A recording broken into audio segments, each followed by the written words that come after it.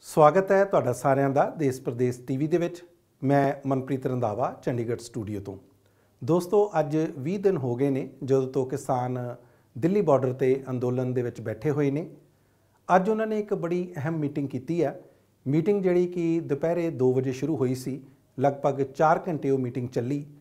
4 ਘੰਟਿਆਂ ਤੋਂ ਬਾਅਦ ਜਦੋਂ ਮੀਟਿੰਗ ਖਤਮ ਹੋਈ ਤਾਂ ਕਿਸਾਨਾਂ ਦੇ ਆਗੂਆਂ ਨੇ ਆ ਕੇ ਇੱਕ ਪ੍ਰੈਸ ਕਾਨਫਰੰਸ ਕੀਤੀ।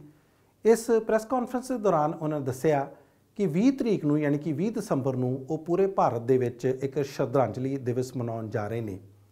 ਇਹ ਸ਼ਰਧਾਂਜਲੀ ਕਿਸਾਨ ਉਹਨਾਂ ਕਿਸਾਨਾਂ ਨੂੰ ਦੇਣਗੇ ਜਿਨ੍ਹਾਂ ਦੀ ਇਸ ਅੰਦੋਲਨ ਦੇ ਦੌਰਾਨ ਮੌਤ ਹੋ ਚੁੱਕੀ ਹੈ। ਇਸ ਤੋਂ ਇਲਾਵਾ ਉਹਨਾਂ ਨੇ ਇਹ ਵੀ ਦੱਸਿਆ ਕਿ ਕੱਲ ਯਾਨੀ ਕਿ 16 ਦਸੰਬਰ ਨੂੰ ਉਹ ਚਿਲਾ ਬਾਰਡਰ ਜਿਹੜਾ ਕਿ ਉੱਤਰ ਪ੍ਰਦੇਸ਼ ਨੂੰ ਦਿੱਲੀ ਦੇ ਨਾਲ ਜੋੜਦਾ ਹੈ, ਉਸ ਨੂੰ ਬੰਦ ਕਰ ਦੇਣਗੇ ਤੇ ਅਗਲੀ 20 ਤਰੀਕ ਤੱਕ ਯਾਨੀ ਕਿ 20 ਦਸੰਬਰ ਤੱਕ ਉਹ ਜੈਪੁਰ ਦਿੱਲੀ ਹਾਈਵੇ ਨੂੰ ਵੀ ਬਿਲਕੁਲ ਬੰਦ ਕਰ ਦੇਣਗੇ।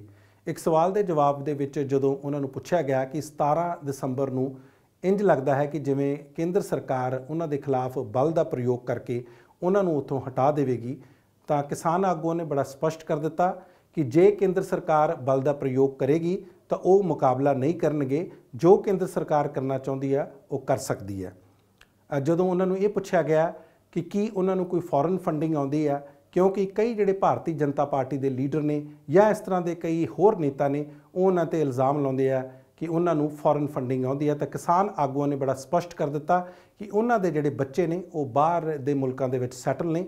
ਜੇ ਉਹਨਾਂ ਦੀ ਕਿਸੇ ਤਰ੍ਹਾਂ ਦੀ ਉਹ ਫਾਈਨੈਂਸ਼ੀਅਲ ਹੈਲਪ ਕਰਦੇ ਨੇ, ਤੇ ਇਸ ਨੂੰ ਫੋਰਨ ਫੰਡਿੰਗ ਨਹੀਂ ਕਿਹਾ ਜਾ ਸਕਦਾ।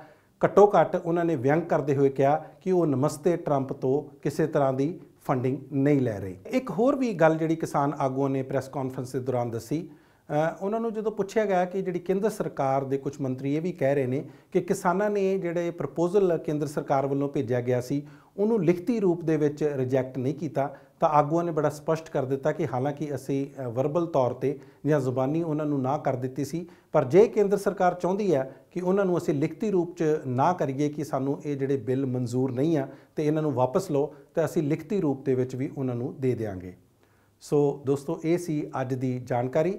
ਜਿਸ ਜਿਸ ਤਰ੍ਹਾਂ ਵੀ ਸਾਨੂੰ ਨਵੀਂ ਜਾਣਕਾਰੀ ਮਿਲੇਗੀ, ਅਸੀਂ ਤੁਹਾਡੇ ਤੱਕ ਪਹੁੰਚਾਉਂਦੇ ਰਵਾਂਗੇ। ਤੁਸੀਂ ਵੇਖਦੇ ਰਹੋ, ਦੇਸ਼ ਪ੍ਰਦੇਸ਼ ਟੀਵੀ।